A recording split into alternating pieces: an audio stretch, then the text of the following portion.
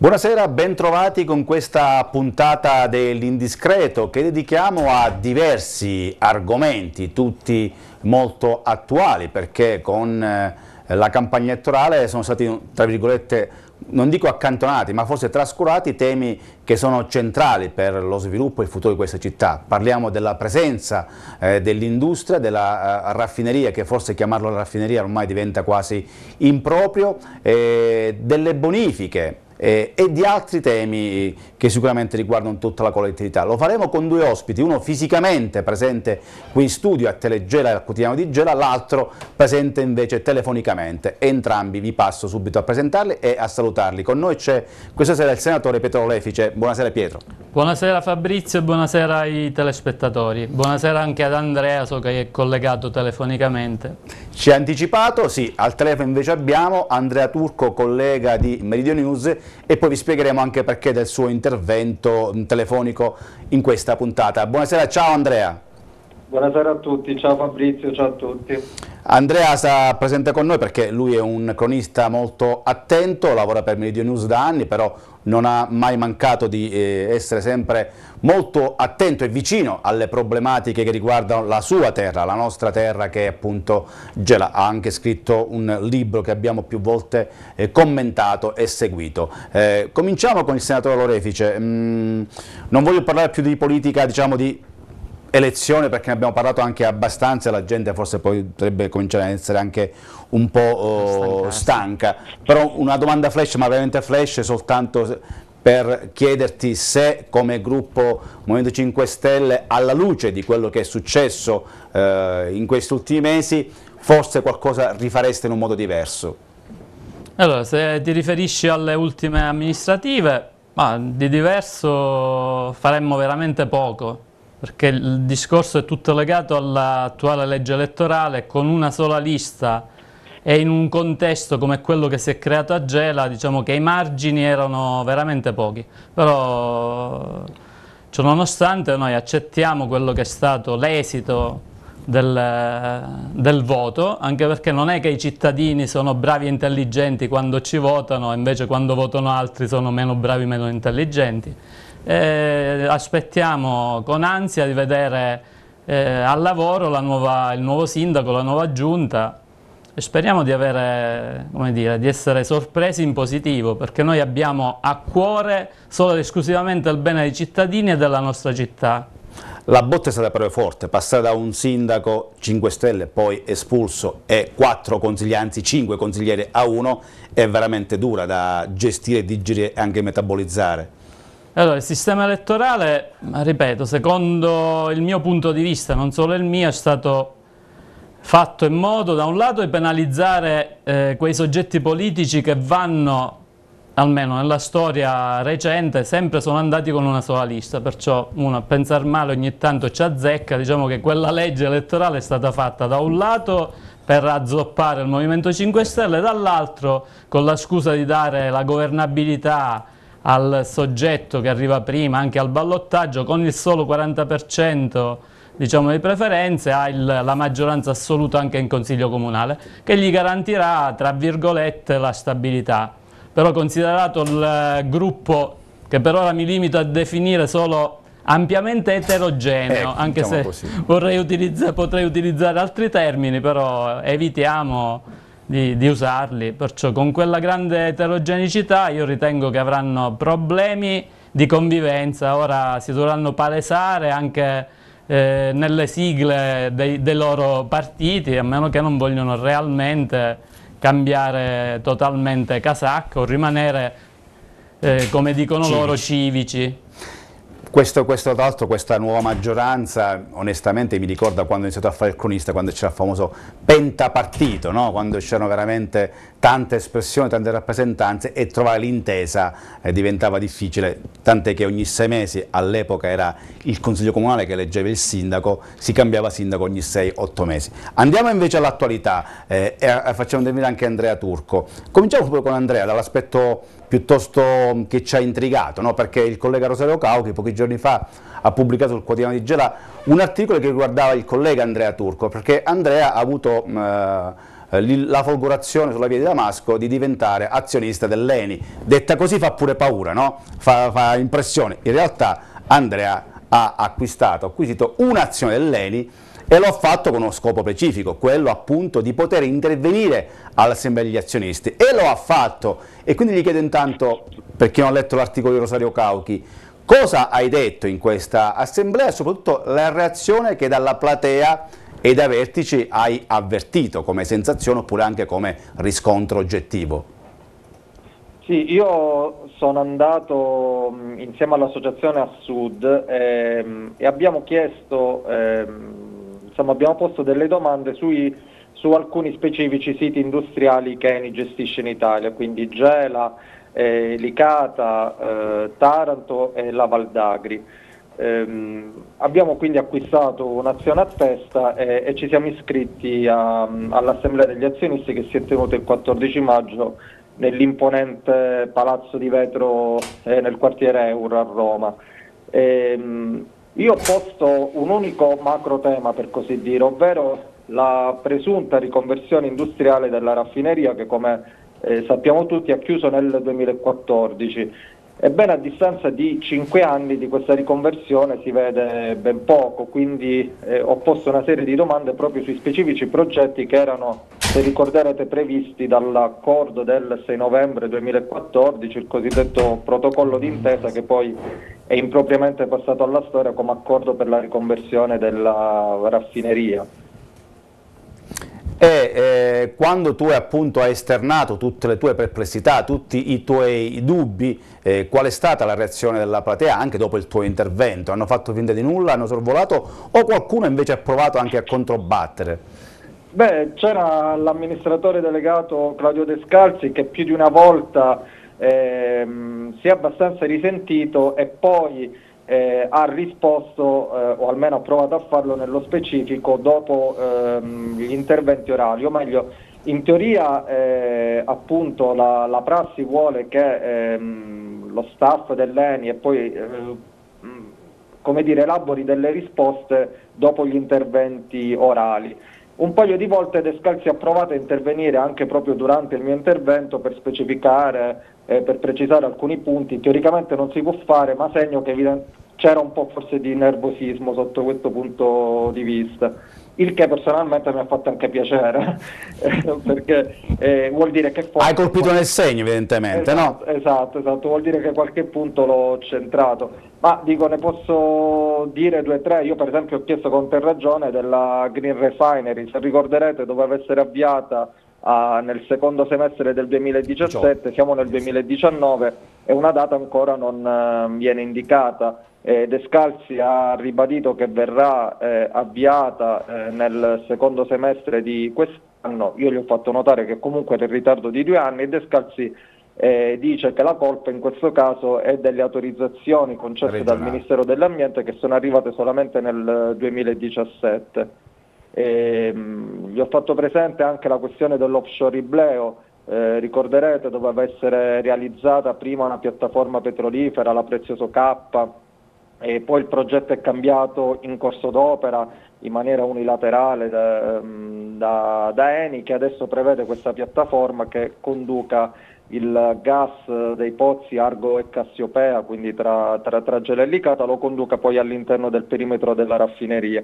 In questo caso Eni ci ha indicato come tempi il, eh, per l'avvio del, um, insomma, per la realizzazione del progetto del 2021, anche qui staremo a vedere, ma comunque eh, anche questo è un ritardo che si accumula insieme a tutti gli altri, così come ehm, il progetto del guaiule, no? ricorderete la coltivazione eh, di questa pianta misconosciuta ehm, che viene dal, dall'America Latina e da cui si, do, si, dovrebbero ricavare poi il lattice che serve eh, per i guanti dei chirurghi. Eh, anche in questo caso sono state avviate tre coltivazioni sperimentali, neanche una gela, eh, tra Barcellona, Pozzo di Cotto, Capodorlando e Cammarata, e anche qui un anno di sperimentazione che non è andato bene visto che ha piovuto molto nel 2017, eh, io ho fatto presente che nel 2018 ha, poi, ha piovuto ancora di più rispetto all'anno precedente e quindi anche qui Eni definisce il progetto un progetto vivo ma non ci ha indicato tempi, non ci ha indicato modalità, quindi anche qui non sappiamo molto generico, eh, insomma, che, cosa, che cosa, sarà di, questo, di questa sperimentazione.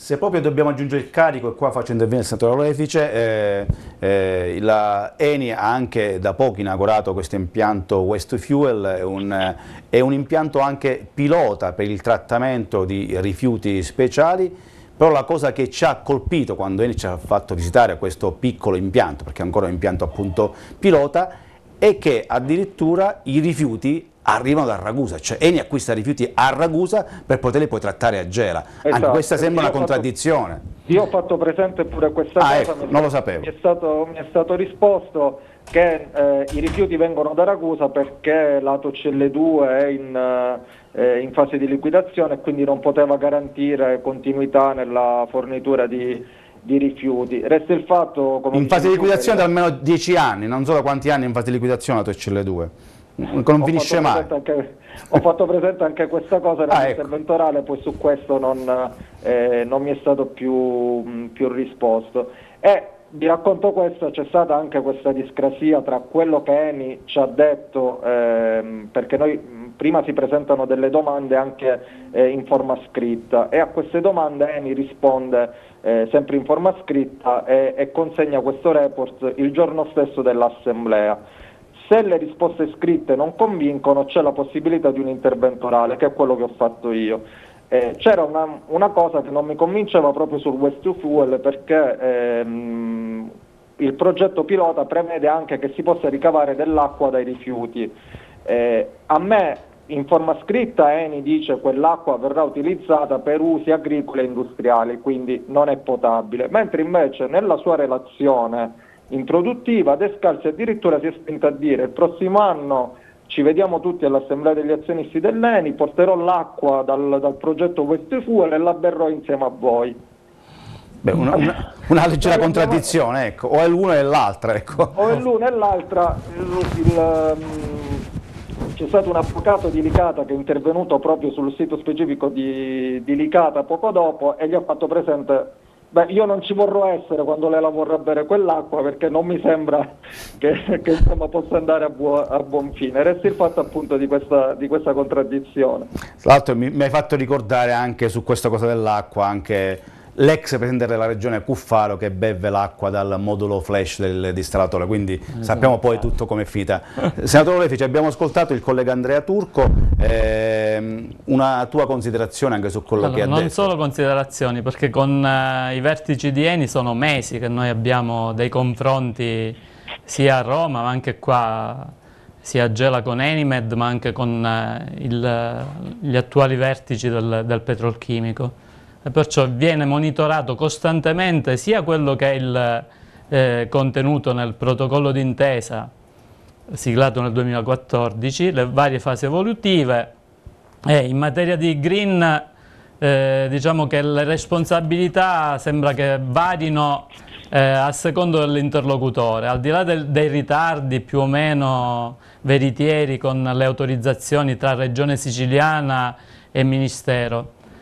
Eh, poi ci sono de delle motivazioni oggettive perché da quello che è emerso anche dal, facendo delle domande più puntuali è che il progetto iniziale prevedeva diciamo, una serie di attività che poi una volta attivate sul campo hanno prodotto delle variazioni in corso d'opera, perciò quello che era la previsione di utilizzo della vecchia impiantistica si è rivelato un, un passo falso. La tecnologia cioè, hanno, è, no, hanno dovuto, no, hanno dovuto rifare tutte le linee perché quelle precedenti erano talmente marce da non poter essere utilizzate, perciò l'evoluzione ha permesso da un lato di mantenere le maestranze, quelle stanno continuando a lavorare per più tempo rispetto a quello previsto, e ora i ritardi che di mese in mese spostano questa fantomatica data di inaugurazione, ora vediamo, hanno pure il 26 maggio, sì. l'Open Day, il 26 maggio. vedremo cosa, però ripeto, l'ENI continua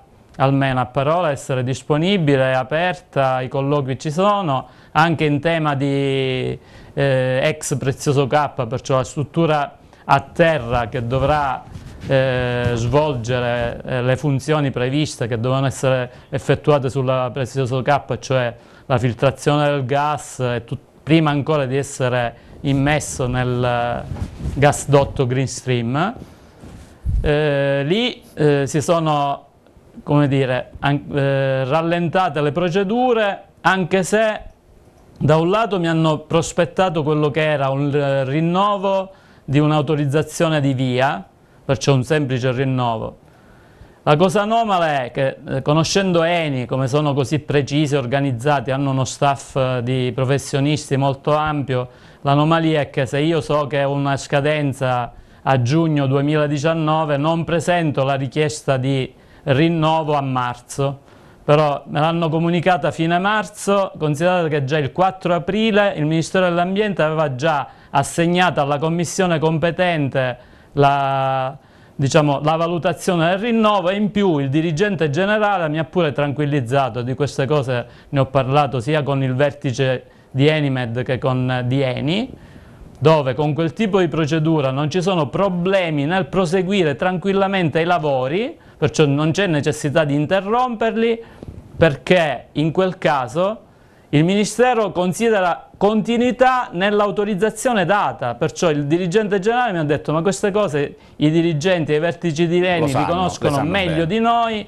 perciò eh, eh, senatore dice, glielo comunichi qualora gli fosse sfuggito, possono andare avanti tranquillamente, male che va la colpa del ritardo dell'autorizzazione che è un atto dovuto se non ci sono variazioni sostanziali peggiorative, ma in questo caso sono migliorative, perché avevamo da un lato prima una piattaforma da fare a mare, ora abbiamo una a struttura terra. a terra, perciò sicuramente le condizioni di valutazione di impatto ambientale sono migliorative, perciò nulla questione sulla eh, diciamo quasi automatica eh, rinnovo dell'autorizzazione. Quindi ci sono ritardi strategici? No, eh... sono ritardi dovuti penso anche alla gestione del, delle maestranze perché loro in quel eh, protocollo d'intesa hanno preso l'impegno di garantire all'incirca 1800-2000 eh, persone eh, di indotto e perciò penso vogliono prima chiudere o arrivare quasi alla chiusura del, dei lavori della Green per poi spostare le maestranze nel, negli altri lavori. E da una certa continuità.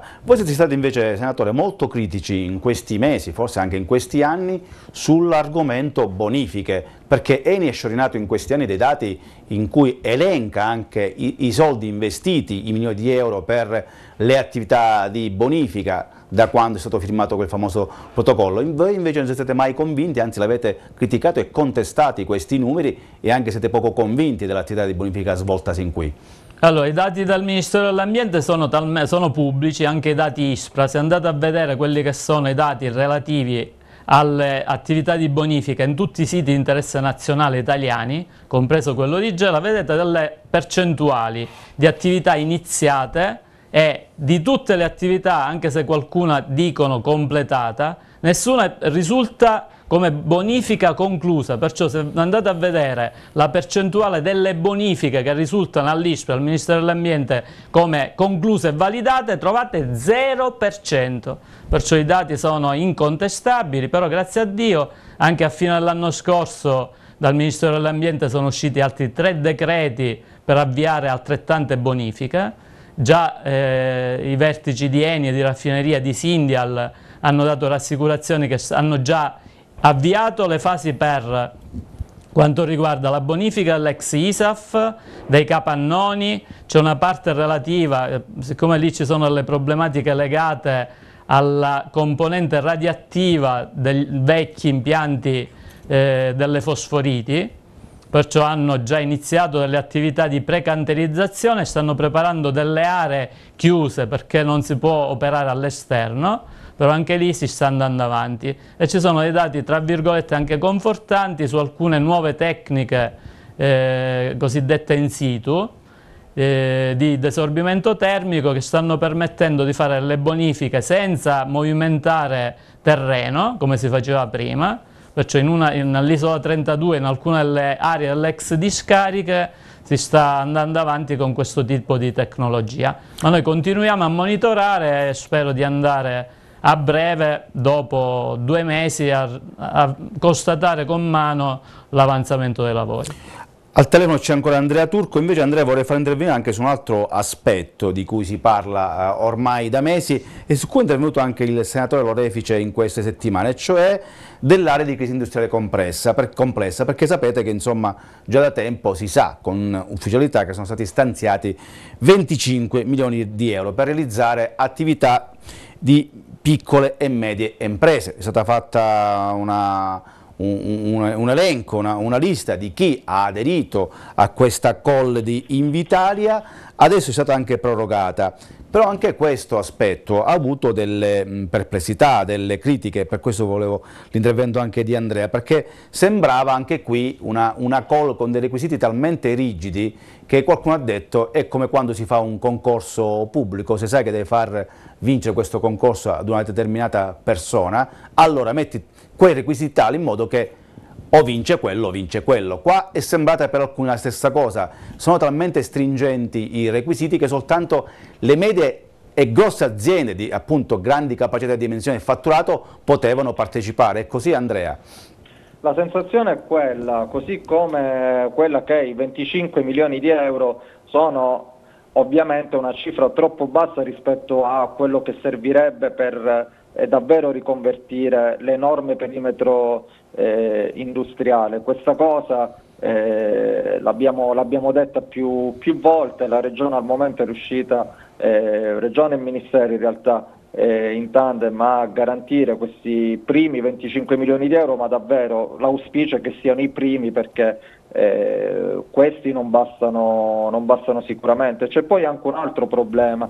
Eh, i, i, i terreni all'interno del, del, perimetro industriale sono ovviamente eh, nelle condizioni che, che, conosciamo, che, conosciamo, tutti, quindi eh, sarebbe stato per esempio eh, auspicabile, immagino, che fossero consegnati, se non bonificati, quant, eh, quantomeno messi, messi, in sicurezza. Quindi eh, è, è, chiaro che in queste condizioni le uniche aziende che, possono, che, vo, che vogliono, eh, che potrebbero insediarsi sono legate esclusivamente sempre eh, alla, eh, insomma, all'industria, all'industria pesante. A petrochimica, certo. No, eh, quindi, quindi, diciamo anche qui la riconversione, la riconversione industriale è molto, eh, è molto parziale. Non, non, mi sembra convinto l'orefice, perché? No, anche perché diciamo, quello che è il piano di riconversione e riqualificazione industriale, il cosiddetto PRRI, dell'area di crisi industriale complessa di Gela, che non, è, non ricomprende solo Gela, ma tanti altri comuni sì. delle tre province limitrofe, non solo provincia di Caltanissetta, ma anche provincia di Ragusa, in parte Catania perché rientra Calti, Caltagirone. E allora, gli insediamenti non devono essere dentro al perimetro di raffineria, possono essere in area industriale ma anche all'esterno o in altre aree industriali dei comuni ricompresi in questo elenco Perciò l'auspicio è che sicuramente all'interno di raffineria, fino a quando non si completeranno le bonifiche, non si facciano insediamenti, perché è giusto così. O solo in quelle aree che avranno i requisiti per poter insediare nuove attività produttive. Mentre per quanto riguarda le risorse economiche, il paradosso è un altro, perché lì eh, dopo mesi di interlocuzioni sia con Invitalia ma anche con, con il MISE, con il Ministero dello Sviluppo Economico, quello che emerge, ahimè, eh, tragicamente è che la normativa di riferimento, ad esempio il bando con la 181 dell'89, è una legge vecchia, nonostante aggiornata più e più volte, eh, poco appetibile rispetto ad altri bandi di tipo regionale. Cioè dobbiamo attendere, però siamo fiduciosi perché i segnali che giungono in Italia la manifestazione di interesse di diverse aziende c'è, il motivo della proroga di un mese è stato dato proprio su richiesta di alcuni eh, imprenditori che hanno interesse nel completare l'iter e la documentazione necessaria, però i 25 milioni paradossalmente che sembrano pochi, speriamo vengano tutti investiti in questa prima fase, anche perché all'interno dell'accordo di programma non c'è soltanto la finestra o il tipo di attività legata alla 181.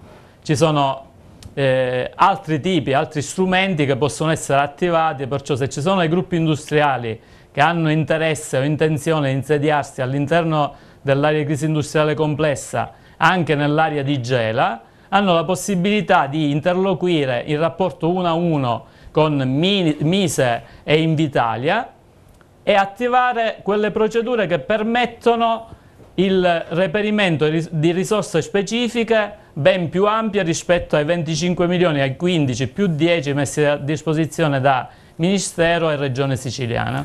Ma non si ha la sensazione che però non ci sia la svolta, nel senso che mi pare di aver capito che chi ha aderito a questa prima manifestazione di interesse, adesso con questa proroga, sia sempre di un settore specifico legato appunto alla grande e media industria, ad attività legate in, in modo anche indiretto sempre alla raffineria, alla petrolchimica? Allora, direi allora, non ci hanno fornito perché per motivi anche legati alla privacy, fino a quando non si completa, non si presenta la pratica, noi non abbiamo la possibilità di capire quali soggetti. Un conto è la call, ma eh, la call non ha definito una platea chiusa, perché se andate a vedere nel piano di riconversione ci sono una serie di indicatori, sono stati messi come eh, settori prioritari 21 eh, codici ATECO.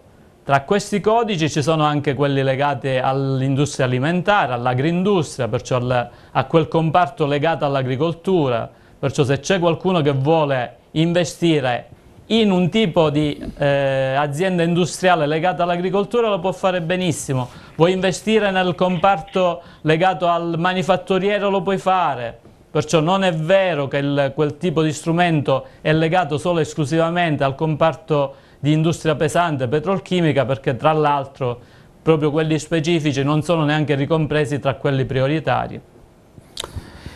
Tra l'altro quando è stato ospite Però qui... se posso aggiungere, sì, sì, vai, se posso aggiungere per esempio un'azienda di eh, agricolo, anzi di, di, di agroindustria, come che voglia di investire in un territorio come la piana di Gela dove ci sono ancora gli 80, le 80 trivelle, gli 80 impianti di perforazione con le condutture che sono un colabrodo con una situazione che conosciamo tutti, quindi è chiaro che ovviamente l'auspicio è che qualcuno arrivi, però nel frattempo forse bisognerebbe come dire, consegnare un territorio eh, quanto più salubre possibile. Ecco, quando parliamo di bonifiche, forse anche su questo del risanamento è un tema, però ripeto, no, certo. vorrei lanciare, perché eh, spesso lanciare segnali positivi non è solo come, come dire, un esercizio filosofico. Caro Andrea, eh, ormai la tecnologia o le tecniche di coltivazione anche agronomiche vanno oltre a quello che è il potenziale suolo inquinato io ricordo a me stesso, comunque gli addetti ai lavori conoscono benissimo le attività di produzione eh, fuori suolo, idroponica, addirittura si va all'aeroponico. Ci sono gli olandesi che nonostante non hanno le, le pianure, una piana come quella di Gela riescono a produrre, a produrre benissimo anche con eh, livelli di qualità altissimi. E ripeto, la nostra piana, al di là delle aree che hanno una potenziale contaminazione, ma ce ne sono tantissime altre che sono esenti da questo tipo di contaminazione e di conseguenza le aziende si possono tranquillamente insediare. Il paradosso è che da noi ci sono coltivazioni tipo quella dei carciofi e non solo, e perciò qua si fa soltanto la produzione spicciola anche a pieno campo, ma poi tutta l'attività legata alla trasformazione si, si fa fuori e questo è sicuramente un, un nostro limite. Poi c'è un altro aspetto, che è quello che riguarda però i trasporti. Quando si parla di trasporti si parla di infrastrutture e quindi si parla di eh, no, rotaie, circolazione anche su, gommata su, su strada e lì speravamo che eh, quando venne il ministro Toninelli ci portasse delle buone nuove, a parte il discorso del porto che, che ha avviato, ci aspettavamo qualcosa di più sulla tangenziale, sulla Siracusa-Gela, che non a caso si chiama Siracusa-Gela, non Gela-Siracusa, perché i cantieri continuano a essere eh, appaltati sempre dal lato eh, appunto orientale, quindi da Siracusa sempre a, a, salire verso il nostro territorio. Però sulla tangenziale forse l'Orefice aveva delle novità. Sì, ma anche perché pure il nostro ministro Toninelli, quando è venuto qua, oltre quando abbiamo fatto il vertice con, uh, con ANAS, oltre che cosa, diciamo un'attività che seguiamo da mesi, io personalmente sia con Danilo, con la struttura del MIT, i colleghi di Commissione Infrastrutture, Perciò con lo sblocca cantieri, il decreto crescita in generale, tra le opere inserite in una lista prioritaria c'è anche la tangenziale di Gela, stiamo parlando di un intervento, oltre che aspettiamo da non so quanti anni, 15 anni, 20 anni, perché dopo la Siracusa Gela abbiamo anche la ta fantomatica tangenziale, nonché la nord-sud. Però sulla tangenziale quella è un'opera inserita tra quelle prioritarie e perciò entro la fine di quest'anno avremo il progetto esecutivo, sol perché quell'opera già è inserita in un elenco e ci sono dei fondi comunitari che se non vengono avviati cantieri entro il 2020 e spesi tra 2020 e 2021, comunque buona parte, tornerebbero indietro e perciò c'è il pieno impegno di questo governo, del ministro e anche della deputazione e dei parlamentari locali, perciò quella è una delle opere che andrà in, eh, in, cantiere da qui a breve, perciò due lotti per un totale di 316 milioni di euro e permetterà di scaricare tutto il traffico pesante proveniente sia dal, da, eh, dalla zona diciamo, della 115 lato Vittoria per intenderci, sia dalla eh, Gela Catania perché andrà a bypassare tutto il traffico che per ora passa da via Venezia e anche dal tratto della 115 che passa per Manfria e per Piano Marina. Perciò per darvi un'idea di quello che è tracciato andremo a collegare dallo svincolo che c'è di fronte Farello, Assa attrezzato ai servizi, lì ci sarà un altro svincolo eh, passando sulla Gela Catania, eh, continuerà nella zona limitrofa al carcere nuovo, per poi passare dietro Marchitello, dietro Manfria, un piccolo, ci sarà pure un microtunnel che dovrebbe passare sotto Villa Daniela o comunque in, in quella zona per approdare alla zona industriale di Butera collegata con lo svincolo per l'ascorrimento veloce, perciò andremo a scaricare tutto il traffico pesante che ingolfa sia le zone eh, balneari di Piano Marina, Manfria Roccazzelle, perciò con grande beneficio, anche perché quei cantieri con eh, eh, una mole di, di, risorse di quel tipo permetterà anche a tante maestranze e tante imprese di lavorare. Andrea, questo forse, diciamo, forse si potrà realizzare perché se no appunto i soldi tornano indietro, quindi su questo forse veramente possiamo essere leggermente e cautamente ottimisti. Condivido, questa mi sembra una, una buona notizia, se posso fare un appunto, eh, forse sul eh, dal ministro Toninelli forse ci saremmo aspettati qualcosa in più sul porto, lo sappiamo tutti che è la competenza della regione, però insomma che, che venga il ministro per ricordarci eh, una cosa già eh, già saputa mi è sembrato un po' poco. Ecco, è vero che Musumeci e Toninelli non si piacciono e che da tempo c'è contrasto tra i due, però forse qualcosa, qualcosa, in più sul porto io credo ce lo saremmo potuti aspettare. Anche perché il piano delle caratterizzazioni dipende dal Ministero dell'Ambiente, non dipende eh. da Musumeci mi pare, per esempio, no? Se volete vi do pure informazioni sì. perché sto seguendo anche il porto di Gela, perché ripeto, le, oltre alle attività di commissione, attività parlamentari, qualche trasferta anche fuori dalla nazione, il mio ruolo di parlamentare mi porta a seguire direttamente anche vicende di carattere locale. Perciò onde fugare dubbi. dubbi o veicolare informazioni errate, perciò la procedura è solo ed esclusivamente in capo alla regione siciliana. Il ministero competente, in questo caso essendo il porto rifugio di Gela rientrando nell'area Sinna a mare è intervenuto soltanto per la parte relativa alla eh, valutazione impatto ambientale o esclusione cosiddetta via.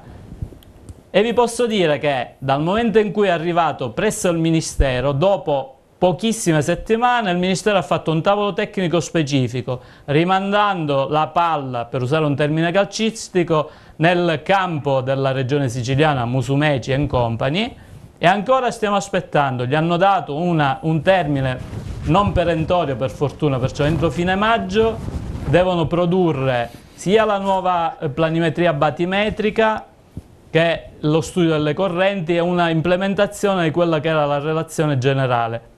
Finalmente l'altro ieri, o meglio ieri, il comandante della Capitaneria di Porto ha autorizzato le attività per i rilievi batimetrici che si dovrebbero concludere entro pochi giorni, a breve dovrebbero partire pure le attività per lo studio delle correnti che dovrebbe durare una ventina di giorni salvo condi meteo sfavorevoli e perciò nel giro di un mesetto dovrebbe la regione siciliana con la struttura preposta che è quella della protezione civile completare le attività. C'è il mio collaboratore parlamentare che ormai è diventato amico sia del responsabile unico del procedimento che nella sede distaccata di Catania, nonché col dirigente, con i vari dirigenti presso la regione siciliana Perciò fino a quando la regione siciliana non completa la documentazione il Ministero non si potrà esprimere, lo farà in tempi brevissimi.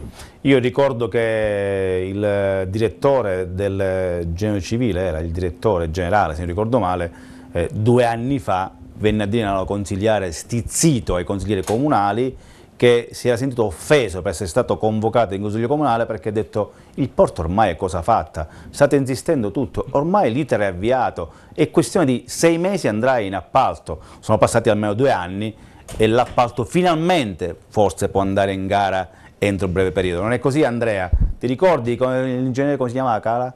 Cala? Calafato. Calafato, l'ingegnere Calafato che era quasi quasi offeso di essere stato scomodato da Palermo per venire a rendicontare in Consiglio Comunale eh, lo stato dell'arte sul progetto del porto. Il primo RUP. Era è il primo RUP. Ti ricordi Beh, devo Andrea? Dire, devo dire che la vicenda del porto è una vicenda che ormai ci trasciniamo anche a livelli, come dire, ridicoli, perché diciamo una città che tenta di riconvertirsi e che non ha nemmeno, anzi che ha un porto spiaggiato, eh, devo dire che ha ben poche prospettive, quindi è chiaro che bisogna, che bisogna accelerare anche sotto questo punto di vista. Vorrei un, ultimissimo commento Andrea, ehm, eh, su che cosa dobbiamo aspettarci invece in futuro, visto che finalmente il quadro politico è delineato, almeno Adesso non ci sono più alibi, no? prima c'era un sindaco che aveva 30 consiglieri contro, adesso almeno quantomeno sulla carta c'è una maggioranza molto ampia, una volta si diceva una maggioranza bulgara, e un'opposizione che teoricamente che lì è ben definita, quindi è un'amministrazione che se troverà la quadra al suo interno, e forse i problemi possono nascere lì, non dimentico la sindacatura eh, Fasulo, può governare tranquillamente e prendere decisioni senza avere nessun tipo di ostacolo davanti.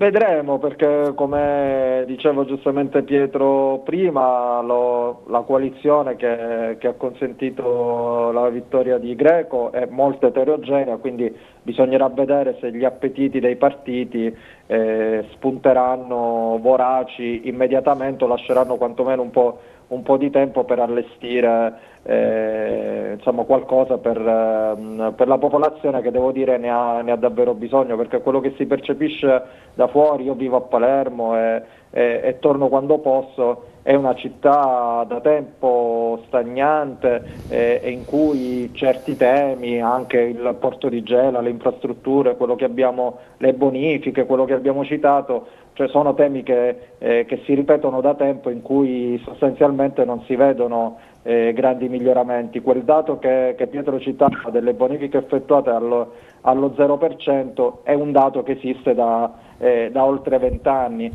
eh, quindi è chiaro che, eh, che, che qualcosa deve, deve, deve, avvenire perché altrimenti l'emigrazione giovanile, ma non solo, continuerà ad essere la cifra portante della città.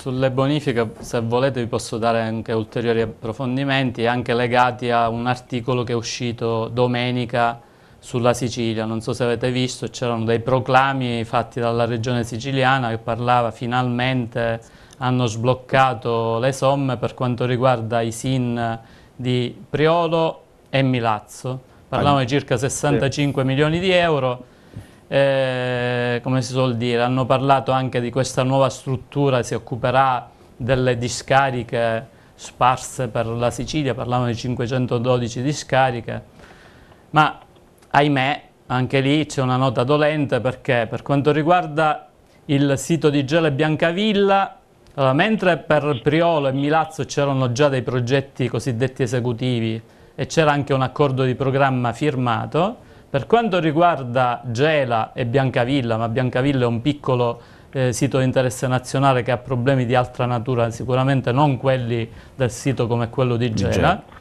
noi abbiamo eh, da mesi pressato la regione siciliana affinché tutte quelle per la rico cosiddetta ricognizione delle somme legate all'ex ufficio del commissario straordinario per le bonifiche in Sicilia, perciò la ricognizione finalmente è stata mandata, la relazione da pochi giorni direttamente al Ministero, ma a seguito di questo ora bisognerà, proprio perché mancano sia i progetti esecutivi e in questo caso stiamo parlando delle vecchie somme residue di circa 55 milioni di cui 25 per il biviere di Gela e 30 per gli altri siti, tipo la discarica Cipolla e la Marabusca, solo che Marabusca ormai è un SIR, è un sito di interesse regionale, mentre Cipolla è sempre un SIN. Infatti col Ministro Costa da mesi abbiamo, e con l'ISPRA eh, il mio pressing è continuo perché ho detto anche al nostro ministro, perciò al nostro governo,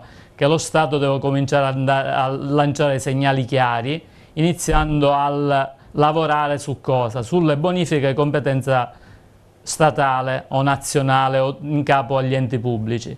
Dal Ministero però è uscita una mala verità, che è quella legata alle risorse, perciò la Regione Siciliana, se non ci fosse stato il mio intervento e anche l'intervento del Ministero di sollecito per rindirizzare eh, quelle che erano le somme, perché il paradosso ulteriore era che la regione siciliana non aveva le carte per effettuare la ricognizione e l'aggiornamento. E ora quello che era l'ufficio, l'ex ufficio speciale per le bonifiche, composto da 70 persone, ora leggendo il giornale mi, sono, mi è venuto eh, di sorridere, ma in un riso amaro, hanno messo soltanto 12 unità più il dirigente. 12 Voi unità per 512 12 unità, no, per, anche solo per la gestione dei gestione, siti. siti. Perciò il governatore Musumeci e anche l'assessore al ramo dovrebbero cominciare a pensare eh, a implementare quello che è l'ufficio speciale perché con quelle risorse saranno destinati a un eh, triste fallimento. Ma io non voglio che l'ufficio speciale eh, fallisca, perché un loro fallimento significa un fallimento del nostro territorio e di nuovo una mancata bonifica. Perciò è un mio è un appello accorato, io sono a piena disposizione di tutti, al di là delle appartenenze politiche, perché noi dobbiamo risolvere i problemi di questa terra che patisce da oltre 50 anni il malgoverno. A me non interessa dire sinistra, destra, centro, poco importa mettiamoci assieme e risolviamo le questioni. Perciò poi diciamo, se volete vi lascio paternità, maternità, non mi interessa, noi dobbiamo far parlare i fatti, fatti. perché di chiacchiere non ne possiamo più nessuno, né i cittadini, ma neanche io personalmente e chi mi conosce, questa non è retorica, questo è un, Anche un mio obiettivo. Non siamo più neanche in campagna elettorale, quindi non c'è manco questo rischio di dire è no, un proclama... Siamo in campagna elettorale, bene, caso, però, caro Fabrizio. Però, Poi se mi fai chiudere un passaggio sì. sulle europee, secondo me bisogna farlo. Si è sempre, vero Andrea? Si è sempre no, in campagna elettorale. Eh, domenica andiamo al voto e per le europee c'è un silenzio tale, molta gente non sa neanche che domenica c'è un voto, un voto importante e poi se vuoi in chiusura, se mi permetti, anche perché io essendo capogruppo del Movimento 5 Stelle, in commissione per le politiche europee, non parlare, certo. non avere l'opportunità di spendere qualche minutino anche siamo in chiusura, questo. siamo in chiusura siamo in chiusura. No, lo puoi fare allora, siamo in chiusura, approfitta perché siamo in chiusura. Allora, niente, un passaggio veloce. L'importanza di andare al voto, l'importanza delle elezioni europee è davanti a tutti noi.